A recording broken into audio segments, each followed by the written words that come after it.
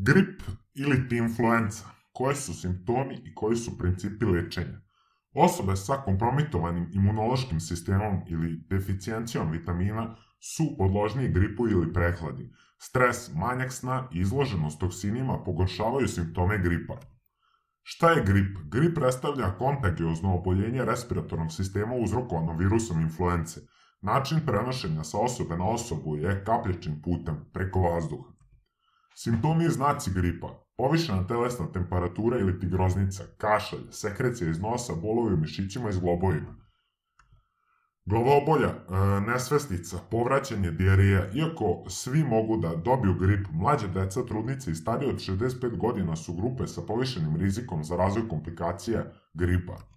Lečenje. Konvencionalna terapija gripa obuhvata primjenu antivirusnih lekova i vakcina. Nekoliko saveta koji se treba pridržavati jesu ostati kod kuće i mirovati kada ste bolesni, ostati kod kuće ukoliko ste bili u kontaktu sa obolelom osobom, koristiti maramicu za uh, pokrivanje usta i nosa prilikom kašanja i kijanja, pranje ruku i upotreba de, uh, dezinfekcionog sredstva, pokriti lice maskom ili maramicom kada se nalazite u velikim grupama ljudi. Ovi savjeti služe za prevenciju širenja gripa, Prirodni načini terapije. Pod 1. Vitamin C. Vitamin C poboljšava i imunološki sistem organizma i stimuliše funkciju belih krvnih ćelija. Dnevna doza koja se preporučuje je od 1000 do 1500 mg u periodu kad osetite simptome gripa. Bez simptoma i za održavanje stanja imunološkog sistema dovoljno je 500 mg dnevno. Pod 2. Vitamin D. Vitamin D se u organizmu pod dejstvom sunčeve svetlosti pretvara u aktivni oblik i kontroliše ekspresiju preko 2000 gena u genomu. Istraživanje pokazuju da niski nivoji vitamina D dovode do veće zastupljenosti prehlade i gripa kod pojedinaca. Dnevna doza preporučena je od 5 do 10 mikrograma. Po 3. Echinacea.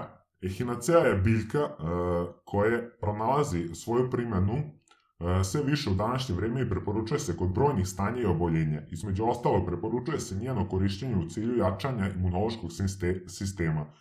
Ehinacea ima antiinflamatorno dejstvo i ublažava bronhijalne simptome gripa i prehlade. U apotekama su dostupni različiti oblici ehinacee i preparati, kapi, tablete ili čajevi. Uz konsultovanje sa doktorom ili farmaceutom izaberite opciju najbolju za vas. Pod četiri kupina. Veruje se da kupina ima sposobnost e, inaktivacije virusa gripa, oblažava bolove sinusa i prirodno jačava imunni sistem. Kupina napada virus gripa i smanjuje inflamaciju bronhija, sastavni deo respiratornog sistema koji sprovodi vazduh do pluća. Pod 5. Ulje origana. Poznato je da ulje origana ima antivirusno dejstvo. Preporučuje se doza od 500 mg e, dva puta dnevno. Pod 6. Cink stimuliše jače imunološki sistem. Pored toga ima antivirusno dejstvo, dnevna doza od 50-100 mg dnevno. Pod 7. Pivski kvasat sadrži u sebi vitamin B i hrom, koristi se kod prehlade, gripa i drugih respiratornih infekcija. Stimuliše funkciju digestivnih enzima i tako ublažava simptome diareje, odnosno proliva i potpomaže funkciju imunološkog sistema. Pod 8. Esencijalna ulja Udrljavanje i nežno masiranje vrata i tabana deluje pozitivno na funkciju imunog sistema. Koristi, e, koristiti ulje, peperminta, lavande i karamfilića koji imaju umirujuće dejstvo. Po 9. Kriopraktičar. Mm, dokazano je da nega i tretmani kriopraktičara deluju pozitivno na imunološki sistem i time pospešuju borbu protiv gripa i prehlada. Po 10. Probiotici. Probiotici preparati koji su dostupni u apoteci ili probiotske namirnice poput jogurta ili kefira doprinose oporavku. Pod 11. Svež vazduh. Šetnje i boravak na svežem vazduhu se preporučuju u smenama sa odmorom u krevetu kao najbolja opcija tokom gripa. Pod 12. Ishrana. Preporučuje se laka hrana koja uključuje supe, bareno povrće, biljne čajeve. Bitno je da se u ovom periodu ne e, primoravate da jedete ukoliko vam to ne odgovara. Neizostavni deo oporavka je hidratacija, unošenje dosta tečnosti u vidu vode, čajeva, supe koji potpomažu eliminaciji e, virusa i bakterije iz organizma. Kombinovani, e, kombinovati mlaku vodu sa limunom, cimetom i džumbirom za adekvatnu hidrataciju. Preporučuje se i primjena belog i crnog luka. Stil života i prevencija. Pod 1. Ishrana.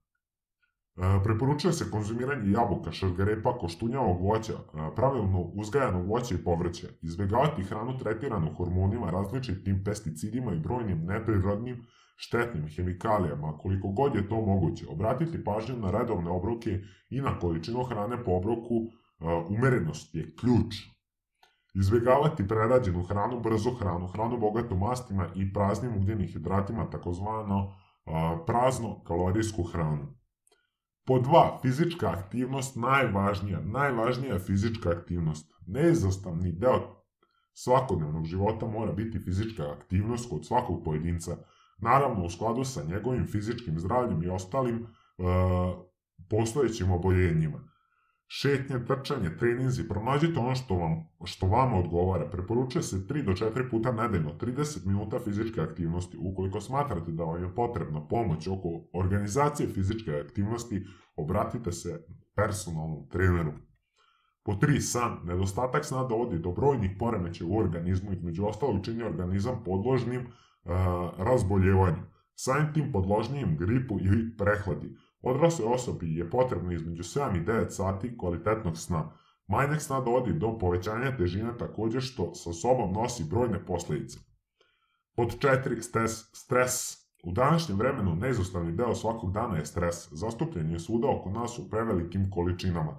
Najbolju uslugu koju možete uraditi sebi i svom organizmu je smanjiti nivo stresa kojem izlažete sebe i svoj organizam na minimum.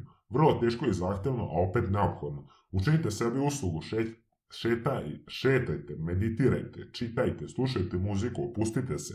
Jedan deo dana morate uh, posvetiti samo sebi. Zaslužili ste to, zapamtite.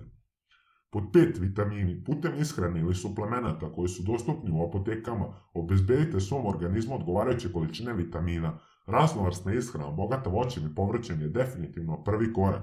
Bolje ćete se osjećati i vaš imunološki sistem će biti mnogo potentniji. Šest, šećer. Hrana bogata šećerom nije najbolja opcija za vas, pogotovo u sezonama gripa. Razlog koji stoji iza ovoga je što se bakterije e, hrane šećerom i time zapravo možete e, pospešiti rast bakterije i dovesti do pogoršanja infekcije. Izbegavajte hranu bogatu šećerom. Hvala vam na pažnji, opširne informacije na ovu temu možete pronaći na našem portalu, link vam se nalazi u opisu ovog video materijala. Također bismo vas zamolili da lajkujete ovaj video, podelite se svojim prijateljima, zapratite naš YouTube kanal kao i preostale profile na Facebooku, Twitteru i Instagramu. Prijatno!